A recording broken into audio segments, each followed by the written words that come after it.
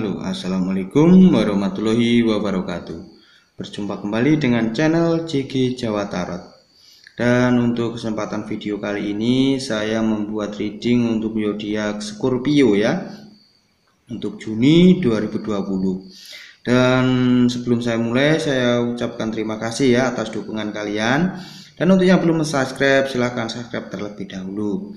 Dan jika video ini bermanfaat dan berguna share ya. Share dan bagilah ya agar orang-orang juga insya Allah kebantu dengan video-video ini ya.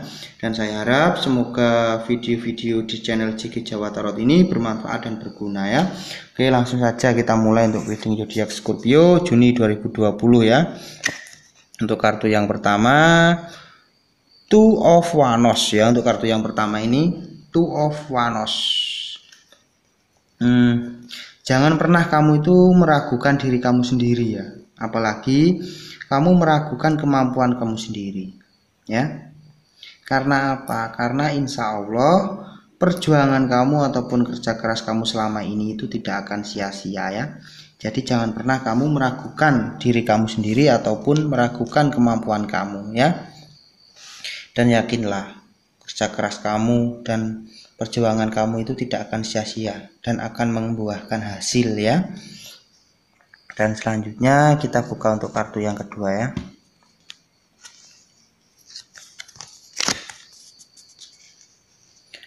Two Empress Insya Allah untuk ke depannya ya Insya Allah perubahan positif akan kamu dapatkan Scorpio ya untuk ke depan Insya Allah perubahan positif dan kesejahteraan untuk masa depan kamu Insya Allah akan kamu dapatkan ya untuk ke depannya yang penting kamu tetap semangat jangan pernah meragukan diri kamu sendiri ya. Dan disarankan juga jalinlah komunikasi kamu dengan baik dengan semua orang ya karena apa? Karena komunikasi yang baik dengan semua orang itu insya Allah akan mendukung kamu untuk mencapai apa yang memang ingin kamu dapatkan ya. Oke, selanjutnya ya kita buka untuk kartu yang ketiga. Six of Pentagram hmm, kebaikan kamu akan membawa kebaikan buat kamu sendiri ya. Jadi Janganlah kamu ragu untuk membantu orang lain, maka insya Allah kamu akan mendapatkan kebaikan-kebaikan yang lebih yang akan kamu dapatkan. Ya, Ringan, ringankanlah beban orang lain. Insya Allah beban-beban kamu akan teringankan juga ya. Dan untuk keberuntungan buat kamu ini Scorpio ya, keberuntungan kamu ini berada di interaksi sosial ya. Jadi bergabunglah dengan interaksi sosial. Insya Allah keberuntungan-keberuntungan kamu itu berada di interaksi sosial seperti bergabung dengan tim yang membantu sesama atau apalah ya.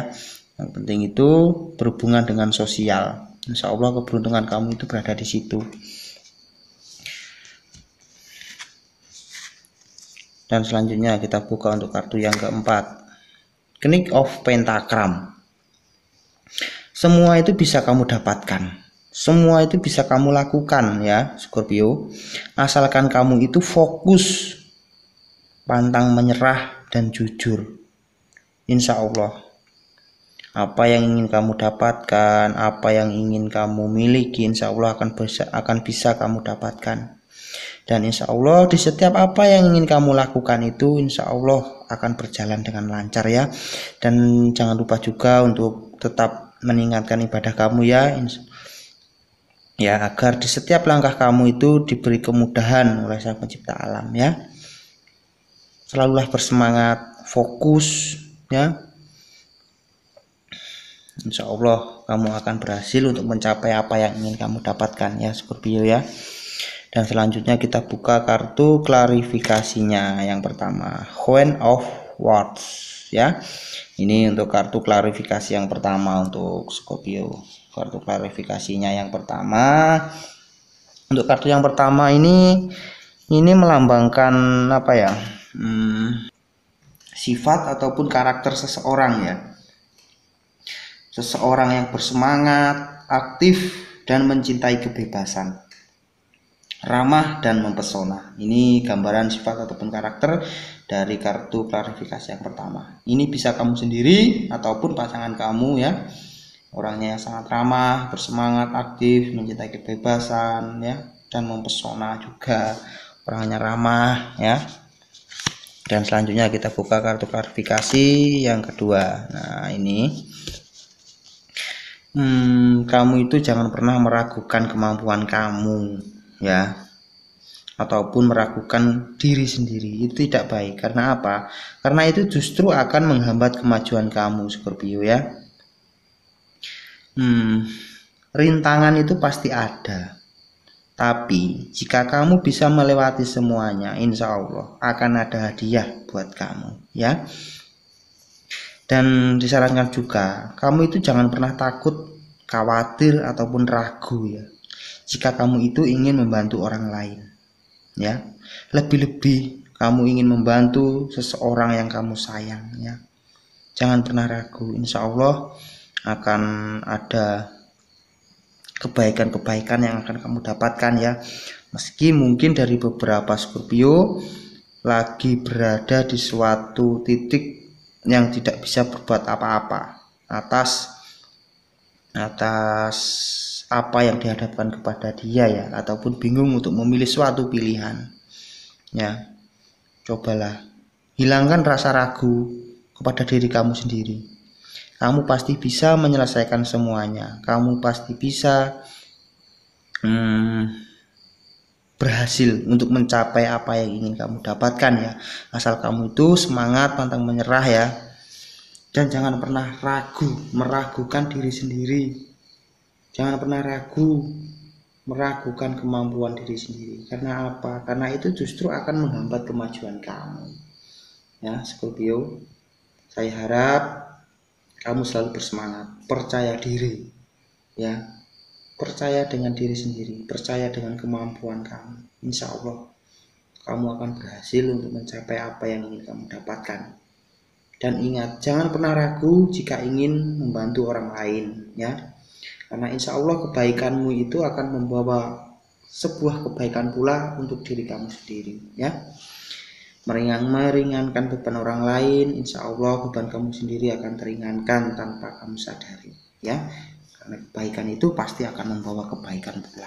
Yang lebih-lebih insya Allah berbalik kebaikan yang berlebih kebaikan yang sangat lebih akan kamu dapatkan. Jika kamu berbaik berbuat baik dengan orang secara tulus ya. Oke selanjutnya ya kita buka untuk kartu klarifikasinya yang ketiga ini hmm, bukalah mata hati kamu ya. Bukalah mata hati kamu Scorpio. Hargai apa yang kamu miliki ya.